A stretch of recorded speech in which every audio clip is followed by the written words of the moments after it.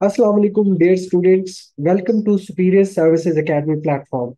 My name is Abdullah Khan and I belong to 51st Common Pakistan Audit and Account Services.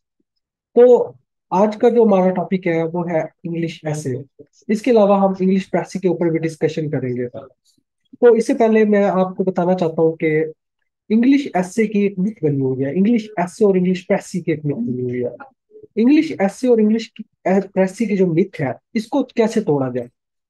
क्योंकि आप जब return examination में देखते हो तो ज़्यादा फेलियर रेशियो जो आती है, वो आती है इंग्लिश ऐसे और इंग्लिश प्रेसी के अंदर। तो आज मैं आपको बताऊँगा how to break the myth of English essay और इंग्लिश प्रेसी क्योंकि लोग अक्सर हम ट्रेडिशनल वे में चले तो अक्सर एकेडमीज का ये एजेंडा होता है कि वो, उसके अंदर आपको पहले बताया जाता है कि थोड़ी लो हाउ दी जाती है कि what how to write an English essay फिर आपको बताया जाता है, आप ये पर्टिकुलर ऐसे लिख कर आ जाए और हम उसके ऊपर आपकी इवेल्युएशन करेंगे। तो इवेल्युएशन करना ये कितना मुश्किल काम नहीं है, ये बहुत आसान काम है। आप इवेल्युएशन इजिली कर सकते हो। असल काम ये है आपका how to write an English essay और वो इंग्लिश ऐसे आपका इफ़ेक्टिव कैसे होना चाहिए, उसमें आपको पास कैसे करना है। Our concern is forty marks हमें फोर्टी मार्क्स लेने हैं, वो चाहे इंग्लिश ऐसे हो या इंग्लिश प्रेस हो तो इन दोनों की मिथ्स जो बनी हुई है, इनको हमने तोड़ना है। तो सबसे पहले मैं अपना तारुफ कराना चाहता हूँ, अपनी मैं हिस्टोरिकल बैकग्राउंड दूँगा, अपनी एजुकेशनल बैकग्राउंड दूँगा, अपना एक्सपीरियंस बताऊँगा, फिर मैं चलूँगा आगे आपको जो सिलेबस कवरेज स्कीम है वो जो हम नॉन ट्रेडिशनल वे से चल रहे हैं, हम उसको कवर करेंगे। तो as far as my experience is concern तो I am three times qualifier of competitive examination जिसमें सबसे पहले मैंने P M S twenty twenty qualify किया था, जो कि उसमें मेरी एलोकेशन नहीं हुई। और क्योंकि आपको पता है कि एग्जामिनेशन पीएमएस का एग्जामिनेशन है, इसके अंदर बहुत ज़्यादा कंपटीशन हो गया, क्योंकि पंजाब आपका एक बड़ा सूबा है। उसके अंदर आप प्रोविंशियल ब्यूरोक्रेसी में जाना चाहते हैं, या आप उसका फेडरल ब्यूरोक्रेसी का पार्ट बनना चाहते हैं तो दोनों केसेस में आपको स्ट्रगल करनी पड़ती है। तो I am qualifier PMS 2020 examination and uh, I also qualified CSS 2021 and uh, I didn't get allocation in uh, CSS 2021, but I tried um, in my second attempt and I qualified uh, CSS 2022 examination and I got allocation in Pakistan Audit and Account Services. तो ये मेरा competitive examinations का जो uh, तजर्बा है वो मैंने आपके साथ शेयर किया है इसके अलावा अगर दूसरे competitive एग्ज़ाम्स या दूसरे एग्जामिनेशन की बात करें तो उसमें मैंने असिस्टेंट रजिस्ट्रार कोऑपरेटिव सोसाइटीज के अंदर, पंजाब भर के अंदर ट्वेंटी पोजीशन हासिल किया और आजकल इसमें मैंने रिजाइन कर दिया।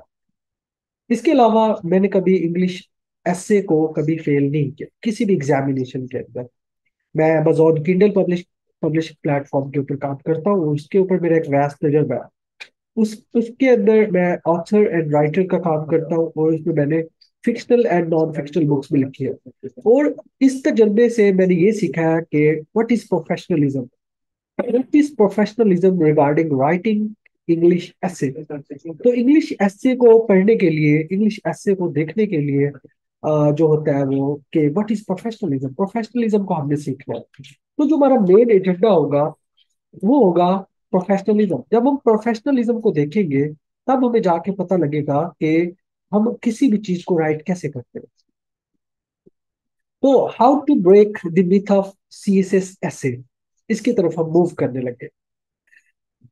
कुछ बाइसेस बनी हुई है इंग्लिश ऐसे के लिहाज से। सबसे पहले नंबर पे जो बाइस है, वो होती है फेयर ऑफ़ फेलियर दूसरे नंबर पे प्रॉब्लम ऑफ़ डाटा कलेक्शन फिर होता है confuse about essay structure what is your essay structure because आप मार्केट में जाएँगे, जो सी एस एस की मार्केट है, उसके अंदर आपको बेशुमार इंग्लिश ऐसे के स्ट्रक्चर मिलेंगे। तो what is your selection regarding the essay structure ये इसमें आपको प्रॉब्लम आती है। सिलेक्शन ऑफ़ टॉपिक आपको एक वास्ट टॉपिक्स दिए जाते हैं सी एस एस के पेपर के अंदर। तो आपको उसमें देखना होता है कि what is your choice what is your particular area to write English essay इसके अलावा पैरलिज्म एंड क्लैरिटी ये इसमें आपको प्रॉब्लम आता है। क्योंकि uh, अगर एफपीएससी की डिमांड को देखें तो उसमें ये क्लैरिटी और पैरलिज्म एक ऐसी चीज़ें है ये दोनों कि आपको ये दोनों चीज़ें इकट्ठी रखनी पड़ती है। आपको पैरेलली टॉपिक से रिलेटेड उसके रिलेटेड कंटेंट चाहिए होता है। आपको, आपकी स्पीड अच्छी होनी चाहिए, आपकी क्लैरिटी हो, आपका कंपोजिशन हो। आप एक पैराग्राफ को दूसरे पैराग्राफ से कंपोज कर रहे हो, उसको कनेक्ट कर रहे हो, उसकी ट्रांजिशन आपको आनी चाहिए।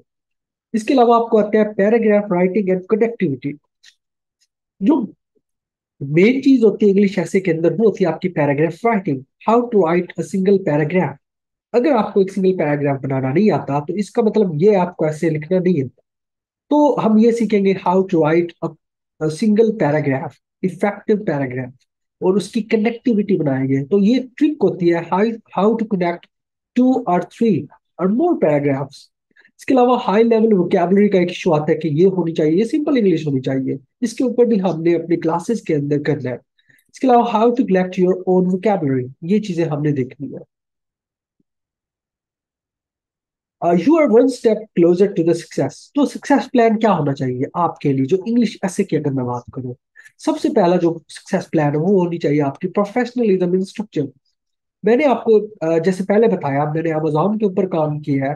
तो इसके अंदर जो एक चीज़ मैंने सीखी है, वो है प्रोफेशनलिज्म अगर आपकी प्रोफेशनलिज्म है इंग्लिश ऐसे के स्ट्रक्चर के अंदर तो आपको कोई पास होने से रोक नहीं सकता।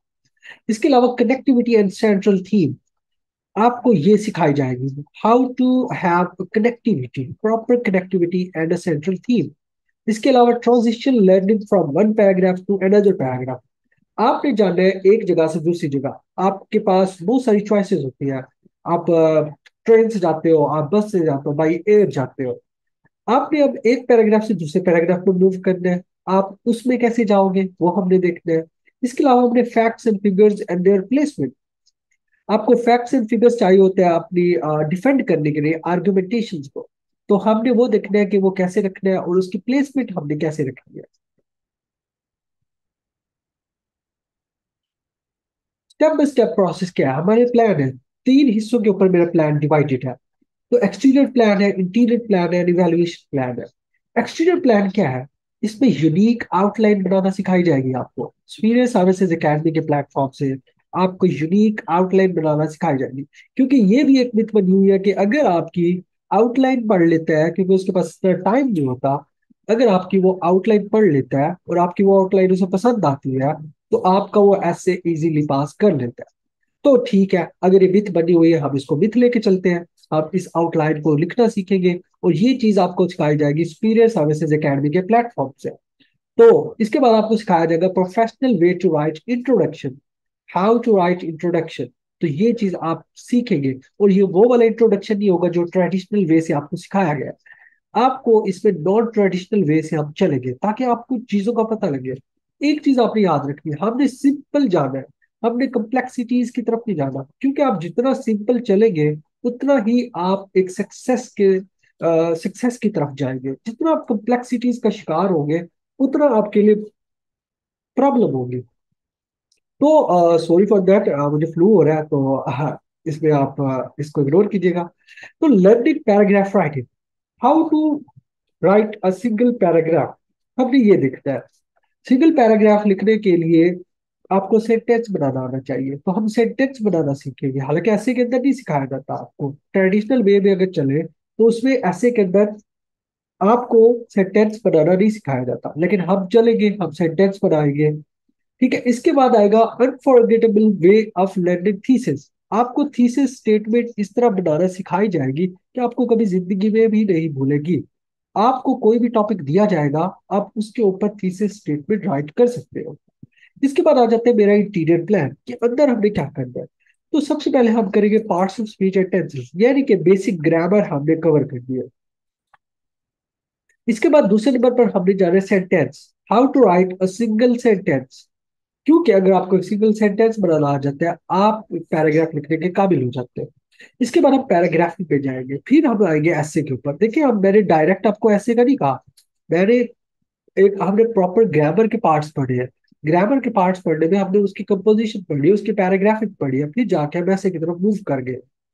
इसके बाद आ जाएँगे इवेल्युएशन प्लान जब हम ये कर लेंगे हमारे दोनों प्लान तो आपके ऐसे चेक किए जाएँगे। पहले आपकी, आपको डाटा कलेक्शन सिखाई जाएगी। How to collect your data for your English essay और वो डाटा कलेक्शन इस तरह से सिखाई जाएगी कि आपको बहुत फ़ायदा होगा। तो आपकी फिर इवेल्युएशन होगी tricks to handle the pressure आपको प्रेशर टेक्निक्स प्रेशर को हैंडल कैसे करते हैं वो टेक्निक सिखाई जाएगी आपको टाइम मैनेजमेंट सिखाई जाएगी इंग्लिश ऐसे के लिए। स्टेप बाय स्टेप चलते हैं जी। Uh, कैसे हम इंग्लिश ऐसे को लिखने के काबिल होते हैं? तो इसमें चाहिए क्या होता है? इंग्लिश ऐसे लिखने में सबसे पहले आपको, आपका आइडिया का डेवलप होना होता है, आपका आइडिया डेवलप होता है, आपके अंदर क्रिएटिविटी एंड इमेजिनेशन आती है। जो क्रिएटिविटी एंड इमेजिनेशन ये वाली चीज़ें, ये मांगी जाती है सीएसएस के अंदर, सिर्फ़ ऐसे के अंदर नहीं ओवरऑल ऑल सब्जेक्ट्स के अंदर क्रिएटिविटी एंड इमेजिनेशन आपकी मांगी जाती है। उसके बाद डेवलपमेंट होती है, आप माउल्ड करते हो डेवलप करते हो, अपने जो आइडियाज़ होते हैं और आर्ग्यूमेंट्स होते हैं, उनको आप डिवाइड माउल्ड करते हो, आप जो आइडिया आपके पास आता है, उसको आप इंग्लिश सेंटेंस के अंदर माउंट करते हो। आप एक्सप्रेशन बनाते हो अपना। जब आपका एक एक्सप्रेशन पर्टिकुलर बन जाता है तो आप एक पैराग्राफ लिखने के, उसको प्रेजेंट करने के काबिल हो जाते हो। तो थर्ड स्टेप है आपका presentation style style and structure आपको बताया जाएगा कि आपका स्टाइल कैसा होना चाहिए, आपका स्ट्रक्चर क्या होना चाहिए। और आपको राइट right यूज़ आना चाहिए कि आपने कौन सी चीज़ कौन सी जगह पर रखनी है। आपने right use of any data और any facts and figures at the right place ये चीज़ें आपको प्रेजेंटेशन में सिखाई जाएगी। फिर आपको डील करना सिखाया जाएगा। यानी कि covering of all important ideas with great dealing ठीक है? यानी कि आप सारे आइडियाज़ को कैसे कवर करना है और किस तरह उसको लेके चलना है, ये हम आपको सिखाएँगे। फिर आपको ज़ाहिर बात है, इसके बाद आपको लिखना आ जाता है। फिर आपको अभी से मुबारकबाद कि आपने इंग्लिश ऐसे पास कर लिया है। अगर आप ये चीज़ें कर लेते हो। तो एक मैं डेमो दिखाऊँगा आपको आउटलाइन जो वन ऑफ़ माय आउटलाइन थी, उसके ऊपर मैंने क्या डेमो बनाया था और ये मेरे 2021 का ऐसे था जिसमें मैंने क्या क्या चीज़ें लिखी थी, वो मैं आपको दिखाने चाह रहा हूँ। तो ये देखिए जी pros and cons of globalization 2021 CSS का ऐसे है। तो सबसे पहले इधर मैंने लिखा इंट्रोडक्शन मेन हेड डाली इंट्रोडक्शन की, इसके अंदर मैंने कोटेशन डाली और ये कोटेशन मैंने जेनेरिक सी डाल दी और ये आपकी थीसिस स्टेटमेंट नहीं गया। तो ये आप देख ले, इसको जज करें। इसके बाद मैंने दूसरे नेक पार्ट के अंदर आ गया, उसमें मैंने इसके टाइप्स बता दी। हालाँकि इसमें टाइप्स पूछा नहीं हुआ, ये मैं आपको फिर ऐसे के अंदर जब हमारी क्लासेस रेगुलर स्टार्ट होगी, तब मैं आपको बताऊँगा कि मैंने टाइप्स क्यों डाली। हालाँकि टाइप्स पूछी नहीं हुई उससे। तो यही चीज़ें आपको इस प्लेटफॉर्म के अंदर मिलेंगी कि आपने अपनी आउटलाइन को एक कम्प्रीहेंसिव लेके कैसे चलना है। आपने अपने उस एसे को कैसे कंपोज करना है।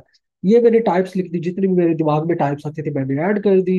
मैंने मार्कर का यूज़ कैसे इस्तेमाल किया, मैंने एक एक चीज़, उसमें कॉमर्स का यूज़ उसमें इन्वर्टेड कॉमर्स का यूज़ उसमें आपकी अलाइनिंग ये चीज़ें आपको, हमने सिखानी है। अगर ये चीज़ें आपने सीख ली तो आप कोई भी ऐसे, किसी भी कम्पेटिटिव एग्ज़ाम का करने के काबिल हो जाते हो।